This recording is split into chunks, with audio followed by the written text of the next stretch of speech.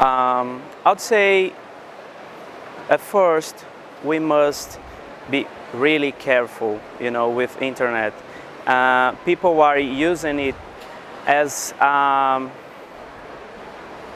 people are using it very quickly, very uh, without boundaries, you know, and we have to be careful, careful with that. We don't know where is where is it going to. We don't know how can it be in the future, so we have to be very careful. I think internet can be great, but it can be also very dangerous, I'd say.